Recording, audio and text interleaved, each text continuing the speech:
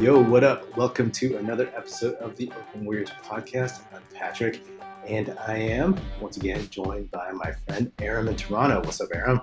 Hello. It's nice to be here. It's summer in Canada. We get about two months of summer, so I'm already enjoying it. What's the temperature outside? Um, it is. It's actually kind of cold right now. It's uh, it's like 19 degrees Celsius, so whatever that's like 68 degrees or something like that. But it's normally much hotter than that. yeah, yeah. I mean, uh, comfort in terms of temperature is all relative, right? And I, and I'm in the basement and I'm wearing a fleece, so well, so it's a little cold. It's I'm not normally like this in July, but yeah, I'm here in California and I'm sweating, so leave it at that. Um, but but it's been a couple weeks since we talked, and I wanted to catch up with you about the NBA draft. We talked right after the lottery, and we've had some time to decompress, uh, read some of the chatter, uh, ignore some of the other chatter, and uh, you know, I kind of I kind of want to talk and see where you're at on some of these prospects now that uh, I think we're each a little bit more familiar with them. Um, and I propose we kind of just you know look at who is realistically within range for the Warriors at 7 and 14. And of course, we're just going on the assumption that they're going to keep these picks and who we think could fall in here. So we're not going to say Cade Cunningham, uh, Scottie Barnes, even, you know, Mobley. Yeah, I mean, it, it seems it seems a lot of people have a, have agreed or speculated that there's a top six you know who you know maybe somebody sneaks into that top six and it pushes one of those top six down but i don't think it's you know and i think if that were the case any of those top six would be like yeah get that guy but um kind of don't really see it happening you know uh yeah. usually when there's that much smoke there is a fire right um mm-hmm. that said you never know uh, things can happen. They can fall in love with a prospect, and there can be trades and, and whatnot. But it's probably not that useful to talk about trades because that could just be a, a million different uh, a, million different threads that that could go in different directions. But I, I'm super excited to talk about these prospects and you know still learning about them. Um, and also, you know, uh, we talked a couple weeks ago right after the lottery, and it's been some time to reevaluate my Chris Duarte take. I, don't, I, don't, I don't think they'll take him at 14, which I think I said. I I definitely was thinking that too, and I actually don't think I feel that way anymore. Um, but but it's very it's very fluid. There are like I, I yeah. mean there if, if there is a consensus, it seems like from seven like downward over the next 10 15 picks like there's a lot of fluidity. So yeah. um, you know chris duarte's not totally out of that conversation. No no no no. Um, he he still is pretty solid. But let's get at some of these prospects. So what we'll do is just go back and forth. We have our own list here of, uh, of dudes that might fall in this range and dudes that have been talked about a lot. So we're just going to go back and forth and then talk about what we like about them and what we don't like. You know, I'm going to let you start. You're going to pick your favorite out of uh, oh. this this crew. So okay, oh, it's like a game show. Oh man, I didn't know I was going to go first. Okay, I'm gonna I'm gonna go with James Bouknight because uh, not that he's my favorite aesthetically, but he is a bucket getter, and I think that that's something that could use. I don't think it's a issue of duplicating too much of what Jordan Poole does because if you can have two dudes that do similar things, then you have two guys that do similar things, then you can do it together. Will he get get to the free throw line? Um, that's useful in a second unit. Um, and and I think he has higher upside than Jordan Poole, and and you've seen him speculated as possibly rising. You know, he had a great shooting display at the at the pro day. You know, maybe that some of that is uh, spin in terms of like, oh, his percentages weren't good because he had a shoulder injury. But you know, regardless, if you can score, you can score, um, and that was a problem at times with last year's team. I think they had something like the twentieth ranked offense or it was somewhere in the in the 20s right and that's a mm-hmm. problem it needs to get higher it needs to get to 10 or so mm-hmm. um so i this is a this is a player that has upside um can probably come in and score for that reason i think that he's a he's an intriguing prospect for them i don't know what do you think about Bouknight oh, i love Bouknight man i mean like his percentages aren't great but i think he can shoot well enough that that can improve. And I'm with you. Like as a dude who can get a bucket anytime, pretty much mid range, uh, get to the rack, get fouled, free throws, all that stuff. We saw how hard it was for anyone else on this team, on this Warriors team, to score. And it's for a team that dominated for so long since the 2019 NBA Finals, where everyone was out and injured, and they were boxing wanting Steph. It's like yeah. ever since then, it's felt like they didn't have enough dudes scoring. And I would love to bring in somebody who could do that. He, he's he's like tall, you know, he's taller than Jordan Poole. And if you throw out Bouknight, Poole, Wiseman, Wiggins, I don't know, any combination in the second unit or whatever, then I mean Poole can handle the ball. I mean Bouknight's yeah, not bad. Yeah. So I think like just as somebody who can score, he he's solid. I would not mind at all if if they if they took him. I think he could contribute in the in the regular season.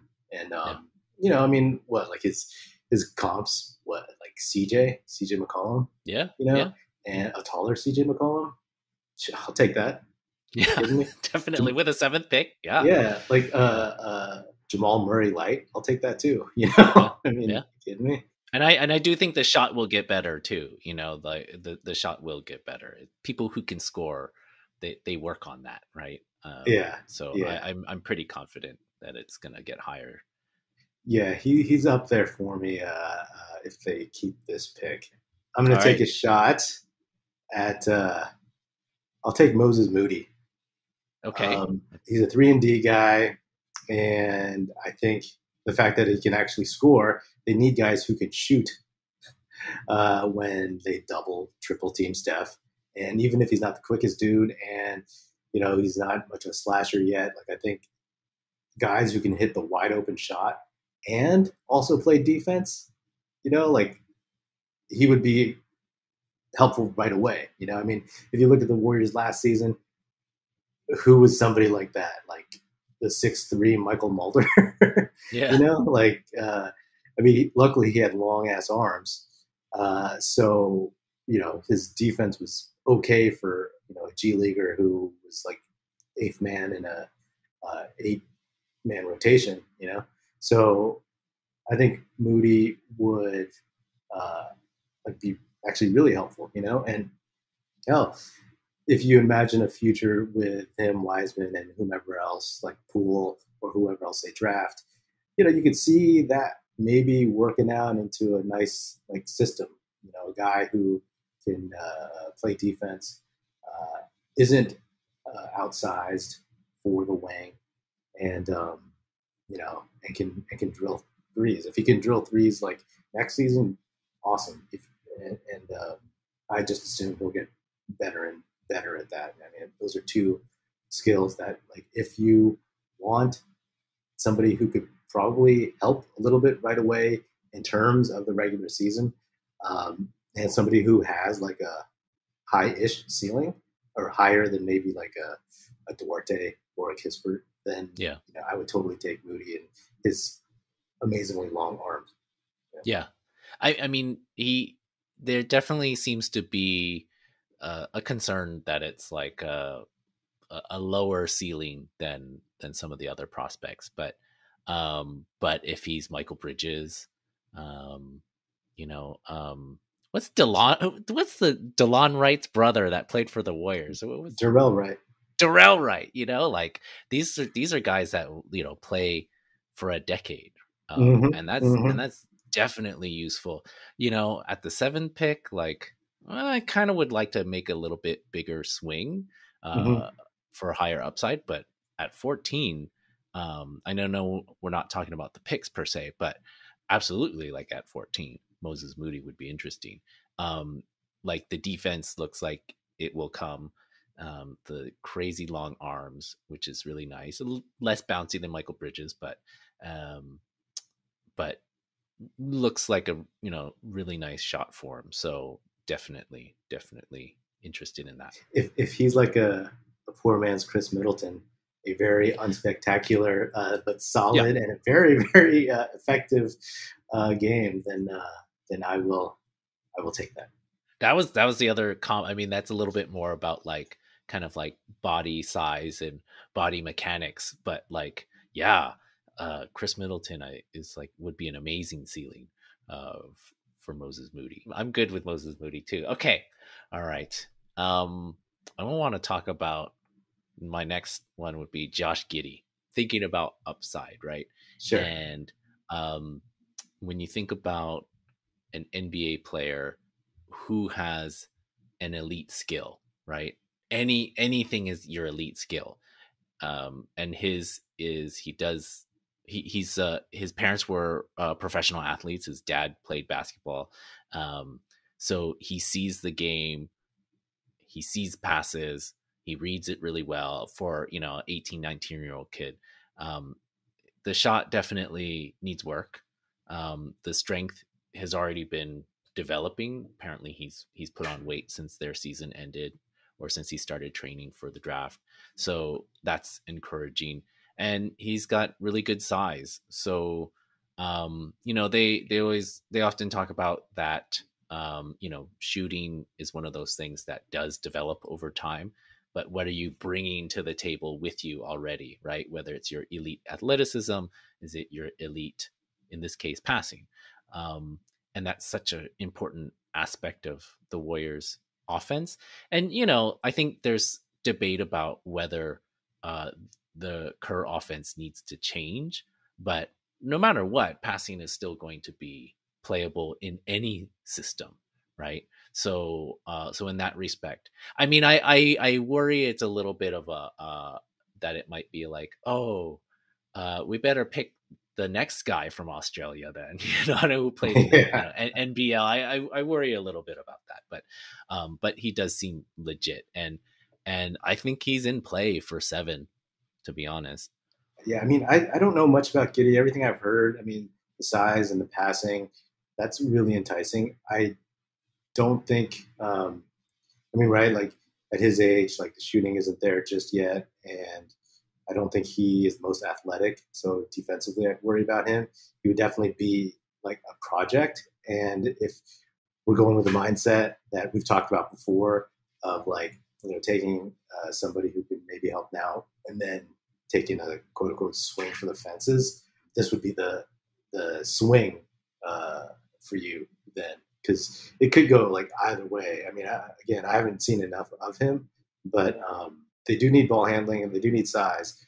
But, yeah, uh, and, and I think the passing might be able to play right away. So the the yeah. passing and the size, and I mean, we're not talking about like thirty minutes a, a night, but it's like a you know. Uh, I want thirty 10, minutes a night, 10, guys. uh, well, we're going to be in trouble if that's the case. Um, uh, but a, you know, a ten a ten to fifteen minute a night thing, may, maybe some yeah. you know some DNPs, but uh, but I, I think you know the passing and moving the ball will help, especially if you think about like let's say they're in a second unit and uh, you know it's pick and roll with Wiseman or mm-hmm. um, Jordan Poole, uh, you know like like that kind of thing. Ball movers are useful in that situation. Okay, all right, all right. Okay, who is left here? Okay, I'm not going to go with somebody that I think like should be the seventh pick or whatever. I'm just going with somebody I like maybe with the 14th pick, who knows? But I want Ziaire Williams. I uh, knew it. I knew it. I, I, I am calling him out before you ever get a chance. but uh, like I've been a fan of that kid since you know last season, and I think he's the swing for the fences guy that I would take just because I mean he's not going to help next season. He's super skinny, still pretty raw, but he has all the tools. And he, before this weird ass COVID season where a lot of weird stuff happened to everybody, Stanford's team in particular, he was going to be good, you know. And then just one aberration season, I don't want to pass up on like Jaden McDaniels. You know, I don't want to pass up on like this six nine, six ten dude uh, who can defend, who can shoot it okay, and you know can handle the ball. You know, yeah. Uh, yeah. So I would be like, if they took him at 14, I would be more than happy to take any one of these older dudes at number seven. Even somebody like I don't want that, you know, we'll probably talk about in the next few minutes. Yeah. So give me yeah. Williams. I, I I I would love that at, at, at 14. There's almost like no downside to taking somebody at that point, right? Like if the mm-hmm. if the Nuggets had taken Michael Porter Jr. and it didn't work out, nobody would be like, "Oh, you know what I mean?" I mean, some some Warriors Twitter people might be because they complain about the, you know, the 29th pick not working out. But like but this is the this is a great time to take somebody like that who is the kind of like post hype um post hype player. Like just like you said that last season affected these young people uh, in ways that we can't evaluate. Um, mm-hmm. So look at the work before that and the trajectory that was happening in high school. And there's a reason why he was a top 10 prospect, right? There's a reason mm-hmm. why at the beginning of this year he was considered in, you know, um, maybe like the numbers, you know, he would be like the number seventh pick or something like that, right? Mm-hmm. Um, sure, maybe like there are other things that happen throughout the year. Maybe his work habits weren't good, but you know, that's where uh, all the front offices are going to be really having to make their money in evaluating um, what what these players went through and come on, Mike judging the, and judging their development. yeah, you owe us, you owe us, Mike. Um, so I, I I would love that pick. I mean, super high upside. Again, like there's a reason why he was so highly touted. So, um, and that's why we have all these new coaches for. So uh, I would yes. love that pick. Uh, not at seven, obviously, and nobody's thinking that it would be seven, but yeah. Um, but I could see it. I could see it happening at fourteen. I would. I would love that. I would be super um, excited. You know, like yeah. Uh, just, I mean, we've talked about this before. Just like homegrown talent and just like potential. Because in the past, we just always, always passed on potential for like Todd Fuller yeah, yeah, yeah. Who I yeah. just keep mentioning. I can't stop mentioning that dude. just stuck. It's just yeah. It, it's it's a pain that never goes away. Okay, uh, let's talk about the elephant in the room. Um, Davion Mitchell, and my hot take is the Warriors will not draft Davion Mitchell. That's my Okay, okay. Lock, why, stock, why, why? smoking gun. Okay, and it's just and it's just based off of what I think Bob Myers and the Warriors team like. They have never drafted somebody this short before, mm. or and and never drafted anybody with such short arms. Um, mm-hmm. like even even the short dudes that they got recently. I mean, who are scrub players. Uh, Wanamaker had long arms uh, Mychal Mulder had long has long arms. So Nico Mannion doesn't. that's true, but he was also the 48th pick or whatever, right? Right. right. Um, so I just I just don't see them drafting Mitchell. Um, that said, uh, if they did, I think it would be interesting. Um, having somebody who could be a really uh, really put pressure on the ball really get up into guys, um, into those like, you know, premium scorers, be a nuisance, be that Patrick Beverley type. Um, that would be useful. I don't, I, I don't, I'm not sure how much he could play with, uh, with Steph, but mm-hmm. maybe, maybe he can play up. I, I mean, um, there is, there is the tendency to get fixated on measurements and and not think you know not talk enough about like can the guy play or not? And and he definitely uh will have a role and he can play um is the shot gonna is the shot gonna be consistent? Uh that's a that's probably his biggest swing thing because like his his kind of like elite skill will will be like defending right mm-hmm. being an on on ball defender. But what else can you develop? So, but but the size thing is an issue. Uh, the size yeah. thing is something that the Warriors have never done. So uh, that's why I feel like they will not draft him, despite all a lot of these mock drafts thinking that yeah. that makes sense. Yeah, yeah. Davion Mitchell, if they do draft him, I will be disappointed. If they draft him seven, I'll be really disappointed. Um, but, you know, it's one of those things where I agree that he will be able to contribute something next season. You know, like it'll be limited. We'll see the effects of him being so short. Uh, and I do also worry about the shot because, you know, everybody points at the free throw percentage. It's like what, 62, 63% or something? Yeah. You know? Yeah, it's pretty um, low. Like uh, shockingly low. Yeah, like really, really low. So either that's like a mechanics thing or that's a, you know, has a something in his head, which I don't know which one's worse actually. I think the one in your head is worse.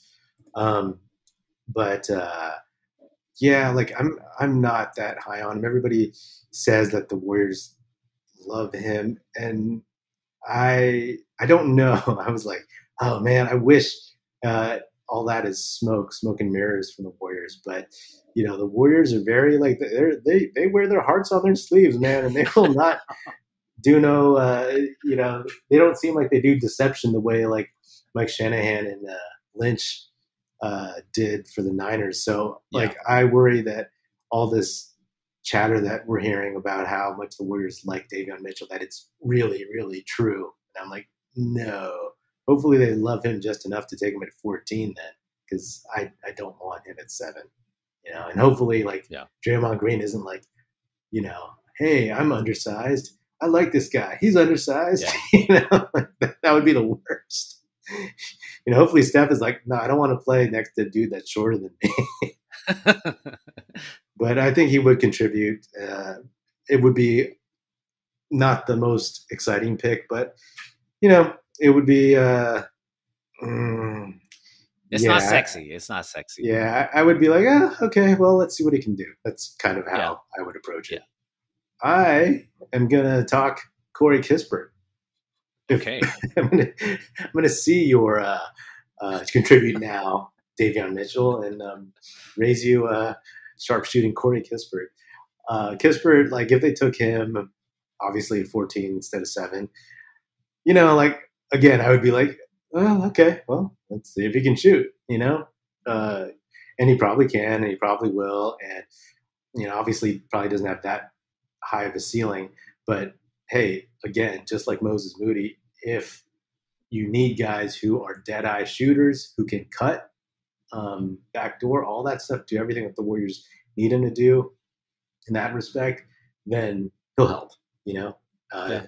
he will forever be a role player. So if you're talking like a future of Wiseman, Poole, Kispert, like that's that doesn't inspire like oh that's that's a big three. You know what I mean? That's like oh wow that's a Wiseman and a couple role players or something. You know. Um, but again, if they decided to go like older college prospect and you know picked him up, I'd be like, okay, yeah. If they went Mitchell and Kispert, I would be like, yeah, at, at least uh, at least we know what we're getting, pretty much, right? Yeah, so uh, yeah. I just hope that he doesn't get embarrassed on the defensive end. That's my biggest question. And um, I didn't watch him a lot in that, uh, but in that uh, game against Baylor, uh, he, he didn't look too comfortable getting like knocked around a little bit. But we'll see. We'll see. You know, and he's uh, what he measures out six six in socks. So yeah, uh, yeah. The know. measurables were were yeah. were solid, and and the the kind of like uh, athletic measurables were slightly better than expected. So yeah, um, and it, yeah. If he's again, a if he's a dead eye uh, shooter at a on a rookie contract, that's that, that's cool. Yeah. Again, it's not a sexy pick, but shooting matters. It really does. And um, if you are really that knockdown shooter, that will add a lot to the spacing. It will make everything easier for everybody else. Um, and you know, like when you heard Bogut talking about uh, Justinian Jessup, right? Uh, mm-hmm. Like it, you you he he said you can't leave him in the corner, right? So it like is uh Kispert gonna be that kind of guy? Like you can't leave him, can't leave him. Uh, and if so, like that's super helpful. Um, yeah. Again, it's not it's not the it's not the high upside uh, not the high upside play. I mean, I think all of this like I, I know we have a couple guys left to discuss, but uh, I mean, it all begs the question of like, um, what will their strategy be, mm-hmm. um, and what is their uh, plan for development, and what is their more like a development philosophy. Um, but uh, I don't know. Maybe we, we can maybe we can speculate on that after we get. I think we have a couple more guys to talk about. Yeah, I'm gonna talk about Keon Johnson. Okay, um, because I watched you know clips of him and and uh and of course like in my mind I'm like ooh it's like looks like Sprewell you know but mm-hmm. with like mm-hmm. but with like Zach LaVine hops um, yeah but just like like early Sprewell like super athletic way more athletic than Sprewell was um but I don't I don't think I don't think they'll take him. He just seems super raw. But I I do like the kind of like uh defensive tenacity and that could be some like uh that high motor, that high compete level despite the skills being pretty rough. Mm-hmm. That could be appealing to them. Um I mean I it's like all of these dudes that we're talking about were all like I'd be happy if they were 14 you know but yeah. none of it is none of it is like i'd be happy at seven um like none of them are i, I think james bouknight might be the only one that i would of, of the people that we've talked about so far that i would be happy with at same seven. same yeah totally yeah yeah so. think about keon johnson yeah like everything i've heard and seen is that he's pretty raw and you know this athleticism it reminds me of like you know in the 90s and the aughts early odds where like the Warriors had after they got rid of Sprewell, they had no athleticism, right? Mm-hmm. they had when they traded Sprewell, they had John Starks, Terry Cummings, and Chris Mills, right? and, and then like when we got Larry Hughes, it was like, oh yeah, he's athletic, and he was okay. And then yeah, he kind of glided, yeah, yeah, yeah, yeah. He had some weird cadence to his game, and then we got Gilbert Arenas and Jason Richardson in the same year. And it was like, whoa, we got like athletes. Now we got guys who could dunk. Somebody can play against, you know, at least in my fanciful mind back then, Kobe Bryant, right? Yeah. There's our answer to Kobe. Um, although Gilbert was pretty good against Kobe when he left the Warriors. Yeah. But I look at Keon Johnson, I'm like, oh man, he's the kind of guy I would have fallen in love with in the draft in the 90s, right? Because it was like, oh, is that his pure athleticism?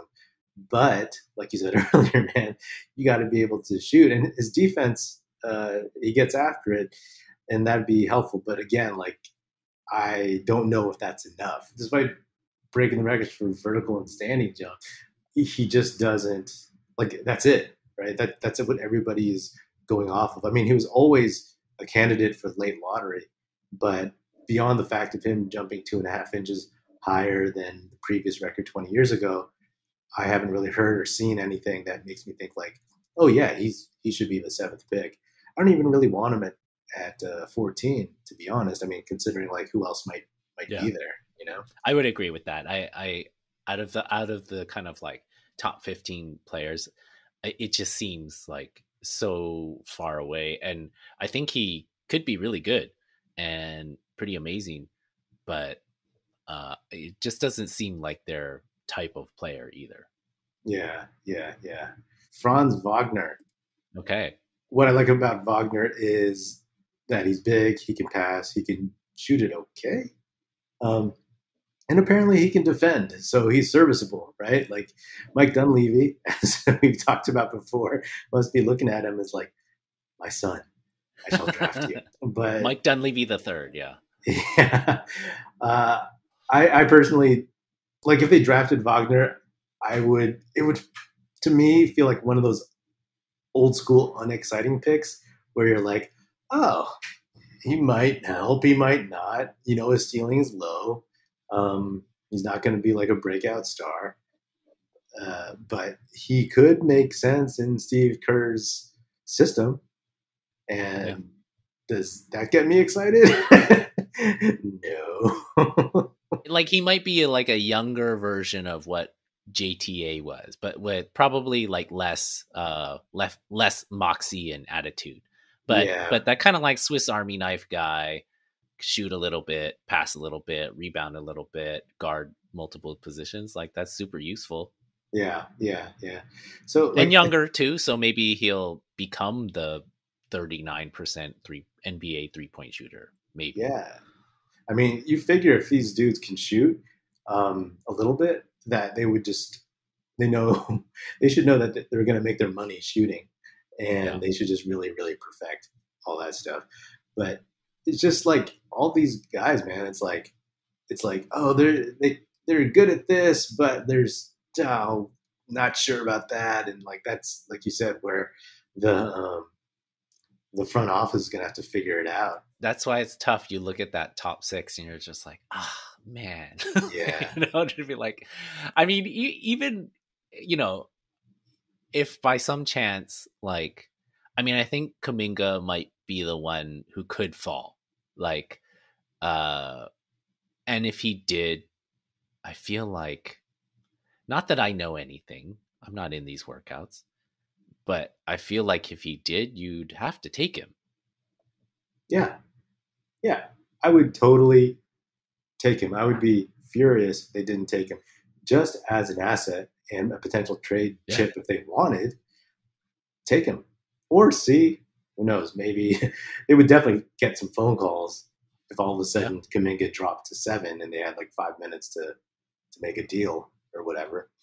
Um, yeah and but I would I would if they took Kuminga at seven, I'd be like, take the oldest dude you want, take Duarte at fourteen, which wouldn't break my heart at all because you know, I still like Duarte yeah. to some extent. Yeah, but like just take best player available, please at that at that point. Yeah. it would be silly yeah. not to. My sleeper pick, and then and I'm cheating because I want to talk about two. Um, my sleeper pick is uh hold on, let me find is uh Trey Murphy. Oh man, that's my sleeper pick. uh, it's okay. Usman Garuba for you now. Um, uh, no, I mean Trey Murphy's pretty interesting, and I saw uh, some highlights of him. Um, he had like a late growth spurt, so like eh, whenever you hear yeah. dudes like you're like, ooh, he has guard skills. You know what I mean? Yeah, he must. Yeah. Um, like really good size. He's had good workouts. Like, uh, and and like having that kind of size on the wing, it's not just a Virginia comparison, but like a DeAndre Hunter. Like that would be super helpful. You know, mm-hmm, that's mm-hmm. really useful player to have. Mm-hmm. Yeah, um, I'm so mad you took my my guy there. I mean, like I was like, oh, I'm, I'm gonna I'm surprise him with Trey Murphy. Um, but uh, yeah, when you hear somebody like right, like just I could name like five dudes who had the late growth spurt. You know, like Scottie Pippen, David Robinson, uh, Dennis Rodman, Anthony Davis. Um, okay, I can name four. but all of them, right? Like it's the guard skills, and especially nowadays, right? I mean, look at Pippen, man. You know, yeah. Like that's what made him great that he could play point guard and he could pass yeah. at that yeah. size at six eight with those long crazy arms. And Anthony Davis too. Yeah, I would not mind him at all. I think uh, he's he'd be an, uh, an intriguing player. I think he, I mean, he's one of those dudes that like, oh man, it's too much of like a risk to take him high right now. You know, maybe after workouts, if he works his way up maybe at 14, you know, but uh, yeah. definitely not yeah. seven. I will say one thing, man. Like some of these teams who are drafting later um, in the draft, there's going to be some choice talent in the uh, late stages of the first round. Like dudes like you know Trey Murphy, uh, uh, you know Josh Christopher Duarte, Jared Butler mm-hmm. if he still mm-hmm. if he gets to play. You know, man. Now I got to pick somebody. Okay, I'll give you a little bit of time. because I, yeah. I, I want to talk about this other guy, and I don't think it's somebody that I want per se, mm-hmm. but I'm so interested to see who's gonna take him, mm-hmm. and mm-hmm. I wanna, and I'm so interested to see what he looks like in the league, and it's the Turkish kid, I'll I'll yeah. Alperen Sengun. Mm-hmm. So interested to see, um, you know, you've heard all the comps like, oh, it's Enes Kanter back to the basket, but uh you've seen like that. later in the season yeah yeah i don't want that either but later in his season he's playing more on the perimeter like flashing more passing skills as like an 18 year old dominating like an uh, you know a, a, good adult league professional league um i mean i'm so interested yeah. to see who's gonna take a risk on him and how what kind of situation he'll land in um and how will that maximize yeah. uh his talent i mean the defense is is a concern. He doesn't move great, but you know, is he smart? Yeah, he's a smart kid at 18 already. You can see that on the offensive end. He and uh, you know, so does he understand the game and can he work that into his the defensive side? I mean, there's a certain point where you know you can be the smartest player, uh, and, but your your physical traits just aren't going to let it happen, right? Um, but I, I mean, right, I don't know right. if I've talked about this before, but just like, yeah, Kevon Looney with offense, like that, that could be good. that could be good.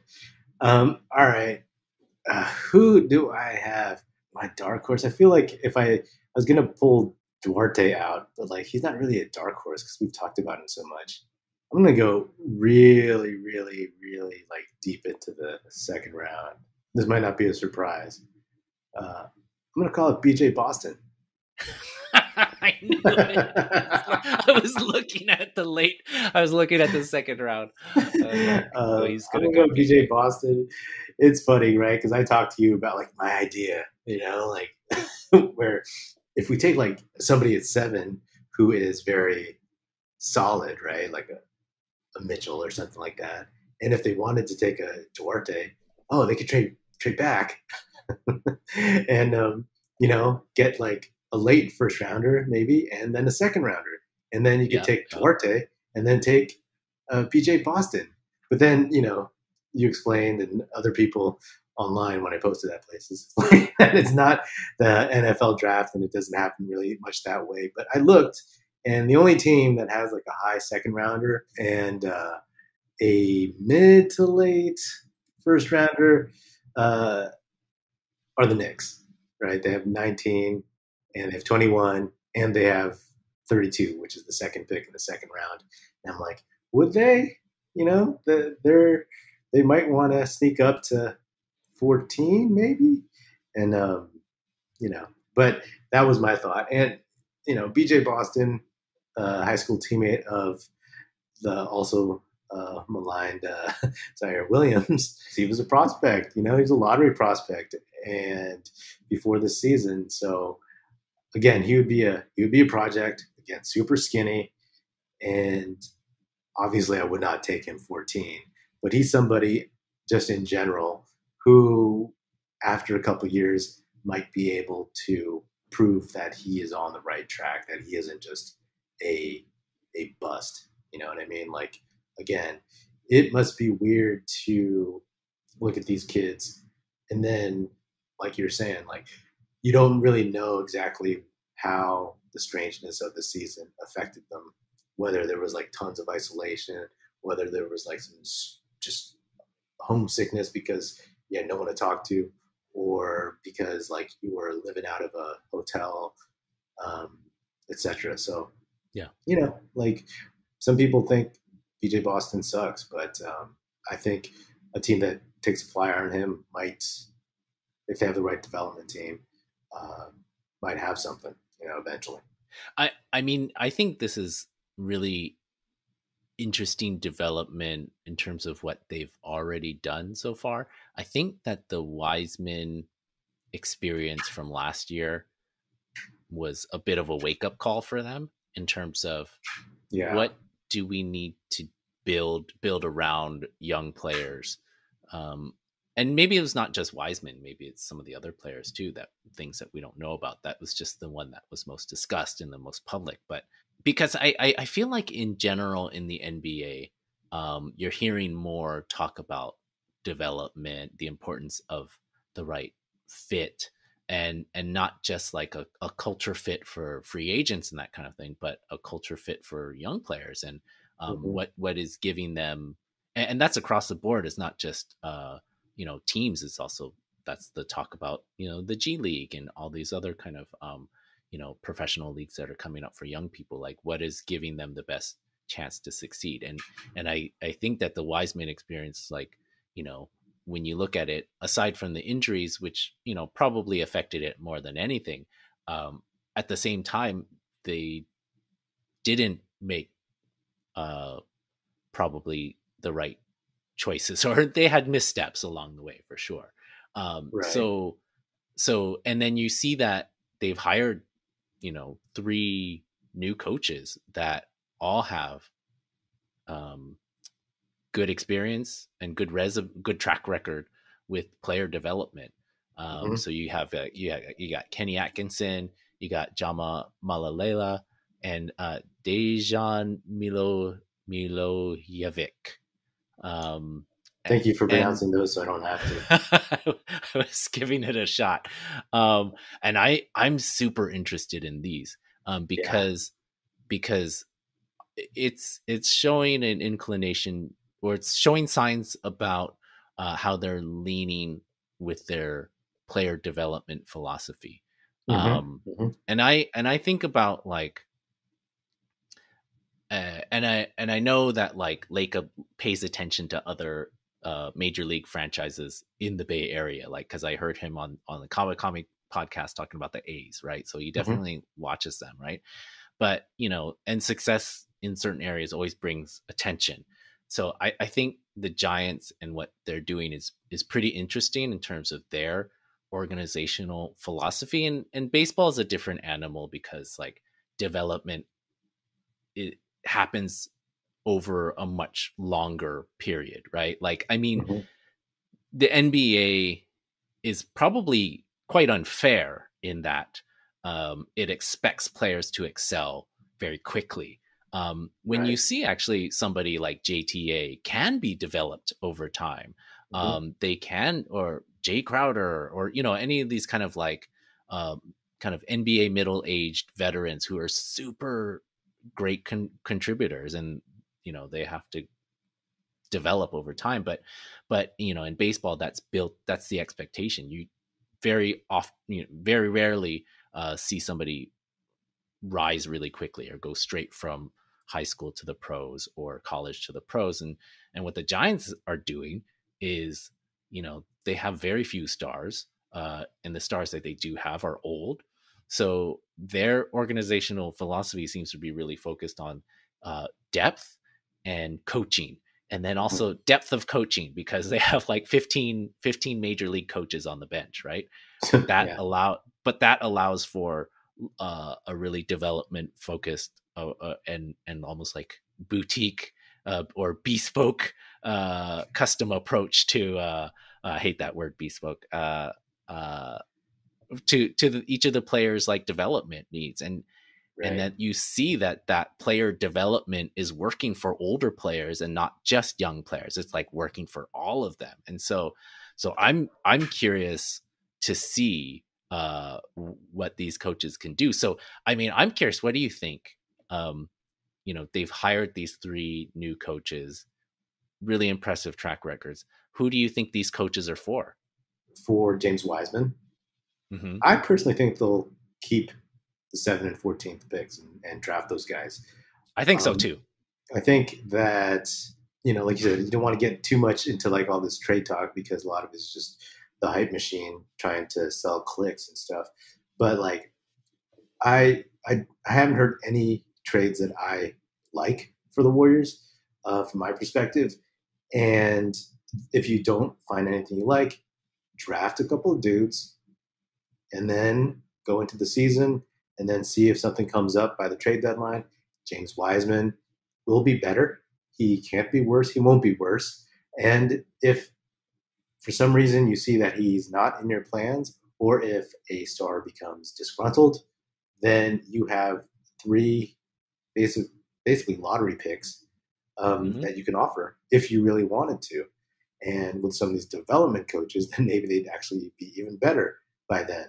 So I personally think, I hope uh, my bias for homegrown talent and not trading as a knee jerk reaction because like it's a this one month window where everybody's like, oh my gosh, you have to trade for Pascal Siakam. You know what I mean?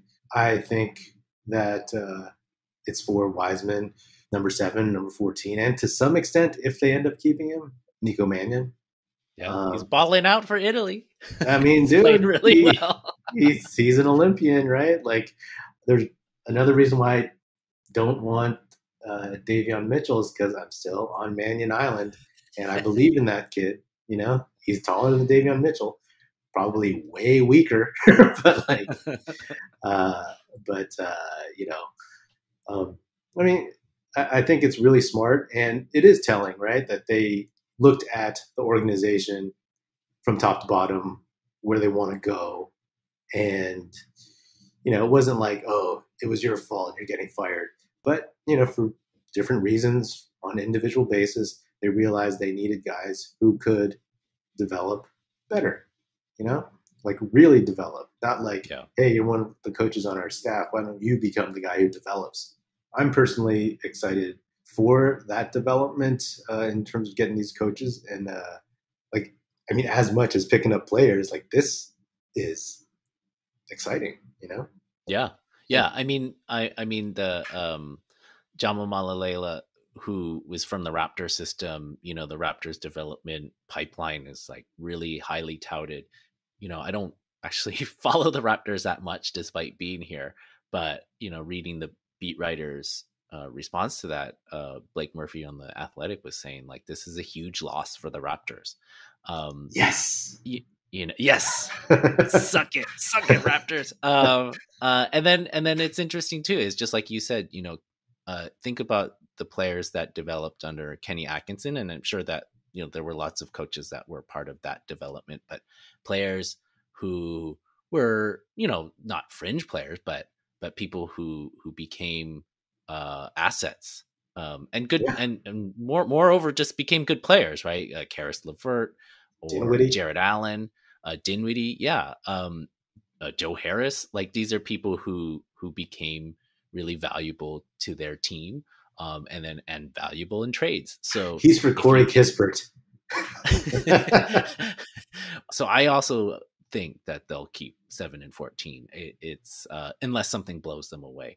Um, and it's interesting that these uh, uh, Atkinson Mahlalela were, uh, were essentially, I think, kind of lateral moves uh, from their mm-hmm. previous organizations uh, oh, as assistant coaches. So, so that I mean, you know, ultimately, like, well, that's that's money talking, but still, that that's interesting, and it shows a commitment to that. So, still, at the same time, it doesn't mean that oh, just because they hired them, they'll keep seven and fourteen. It also may mean uh, that you know other players on, who are already on the roster can be developed as well.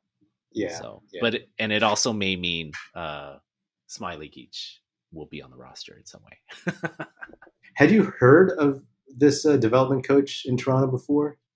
No, I hadn't heard the name before. Just you know, it's just that their system is very. You know, you you think about like Siakam and Fred Van VanVleet. They all played in their uh, Raptors G League system, and then right. and other other players too, like Boucher and um, yeah, yeah yeah, no, I, I, I, agree. I'm, I'm, I'm definitely uh, intrigued by that, and it gives like us as fans something else to look forward to, right? Because like, uh, it's like, you know, when we got Steve Kerr, that was exciting, and it was like in the '90s when they were firing coaches left and right, and it was like, oh, maybe we can get Phil Jackson. like that was what people were talking about, you know. Um, or somebody of value. Oh, you know, like Dennis Johnson. Uh, you know, we went through this list of dudes. What combination of seven and fourteen do you want? Oh, like what is okay. your ideal scenario?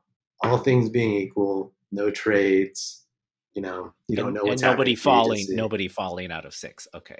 Yeah, yeah. Oh, okay. I'm gonna need a second. You um, could also do um, like a couple combinations if you wanted. You know okay, what I mean? Like, okay. there's something interesting about having two picks where you could like you know do two help now dudes or two swing for the fences or a combo. You know, like it's that's that's what's really fascinating about this. Like two picks that are so close together but far enough apart. I think one combo I would like is uh Giddey and um and Ziaire. Like okay. that was pretty that was pretty interesting. I like that. I would also like uh Bouknight and um oh if you could get Bouknight and Wagner, that'd be nice. I think that would be really solid.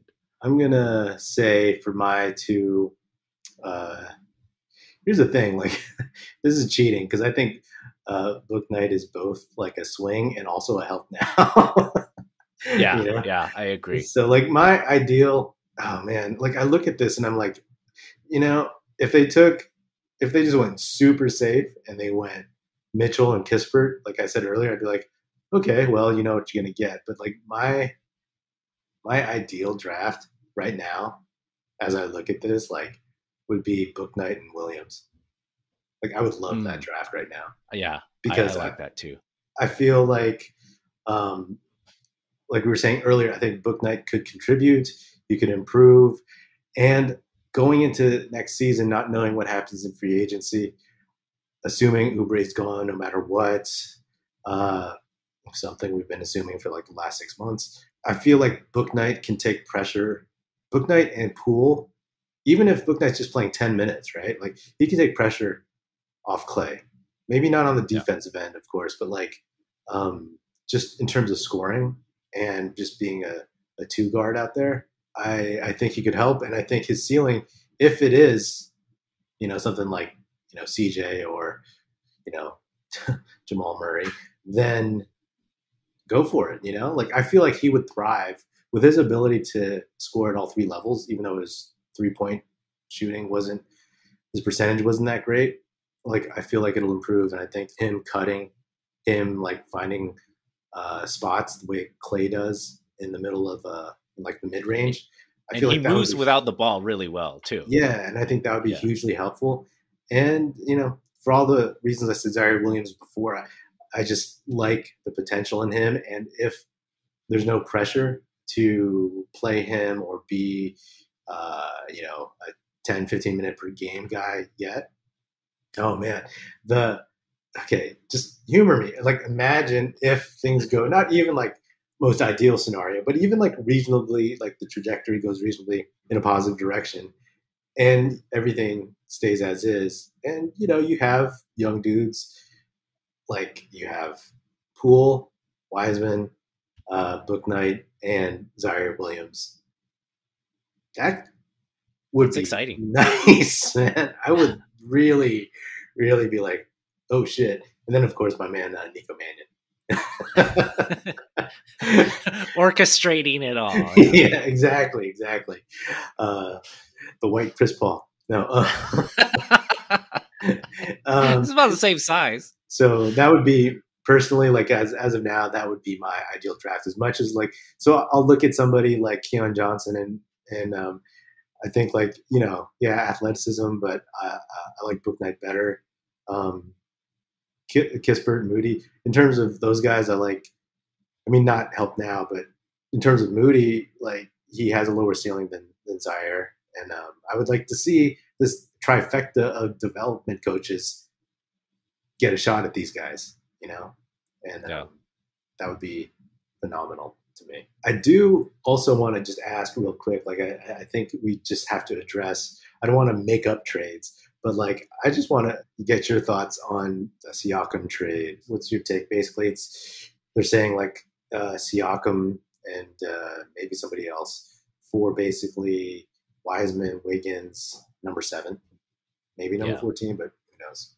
It's a tough one because I do think that um I think they they do need high end help like if they really want to go far or or that uh, high end help will help insulate against the variable that you don't know what Klay is going to be. You know mm-hmm. what I mm-hmm. mean? Like yeah. if Klay comes back and plays like John Wall did, you know, in terms of relative to their old selves, like John Wall or Kevin Durant, then like you couldn't even tell Durant had an injury, um, aside yeah. from his nagging injuries that he had. Yeah. But there's no there's absolutely no assurance of that. Um, so you know, a high end starter, fringe all star, would really help ensure against that. Mm-hmm. I don't know that it's worth giving up all of these assets for that because you better be really damn sure that that's going to work. And you know, it's not a perfect fit, and there's very rarely a perfect fit.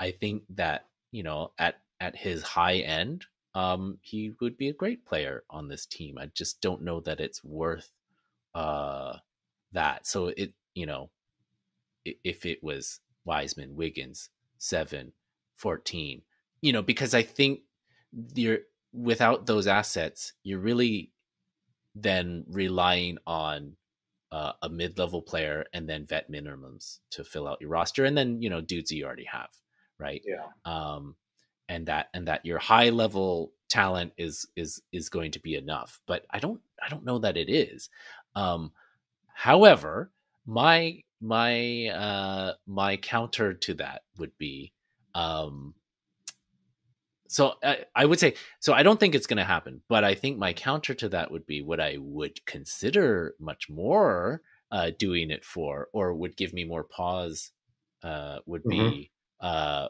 Wiseman, Wiggins, uh, seven and fourteen for Siakam, and number four. And maybe, like, and maybe, uh, and maybe, uh, you know, I think the Raptors have like the the forty seventh pick or something like that, you know, um, and then maybe there's future draft considerations or something like, um, and I'll even take Aron Baynes off your hands, right? Because then I'm not, I'm not like losing the depth. I mean, that's a that's I judging from your response, I sounds like a dream, like a ridiculous trade. But I think that you can't waste your assets like that. You know what I mean? Yeah, I would do the trade you just mentioned to, but like it's funny, right? Like I've read enough of uh, stuff on Twitter and in like comments from uh, Toronto fans, and like they would never give up. Like they just that would be the most lopsided trade to them right? Just the way, like yeah. without the four, it's pretty lopsided to me um, to give up, you know, just for Siakam. And I, I agree with you. Like, yeah, just giving up on Wiseman, pennies on the dollar, and I've I've, I, have i have said this before. Like Wiggins, I mean Pascal Siakam is a better player than Andrew Wiggins. That's not even a question. But like Wiggins' fit is proven. Um, he's healthier. Uh, he doesn't have like a shoulder issue. Like right then and there, it just becomes way too much to give up. I think personally, like you need depth, you know, and yeah, yeah. I don't think Siakam is that guy, right, to give up all this stuff just for a short run. Because you said it yourself, like once you give up all these assets, your team is pretty thin, right? Yeah. Like it's it's it's it's top heavy, but like then you're again, you have Klay. I mean, it'll be a good team if everybody's healthy, right? And yeah, just, maybe yeah. you'll get some ring chasers, and that's what they're hoping for if they do something like that.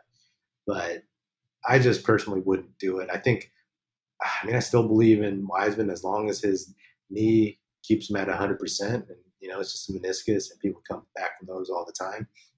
Uh, I I would not give up on on all of that. I think you can still um, add players and uh, and compete for a, for a title. You know, because to me, it's not like oh, we need to to make it for sure that we are like the favorites and we're going to win it like dynasty days. You know, like that's not going to happen.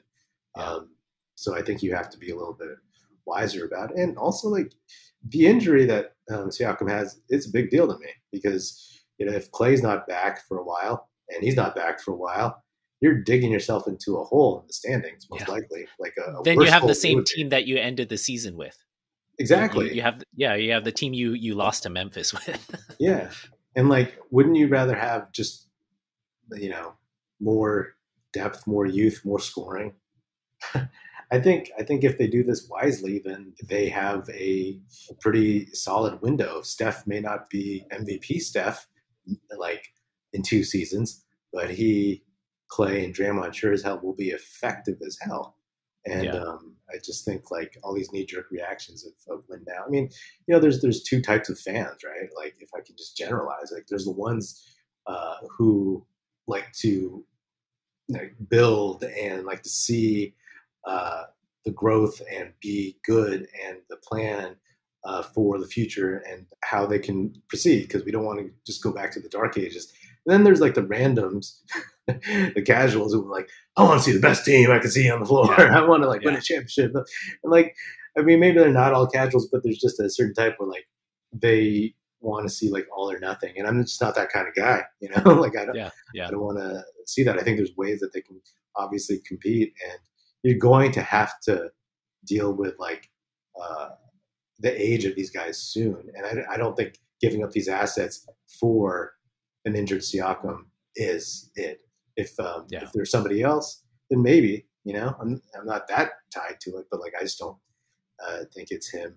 And um, like you said, if they throw in uh, the the number four pick and we get like Suggs, Green, or Barnes, then I'm like, great. You know, that's a whole another story. The way I look at it is that this next season is still going to be a transitional year, um, and maybe, uh, maybe by the end of this next season, they've all kind of like converged into like being a real threat. But I don't, I don't see them.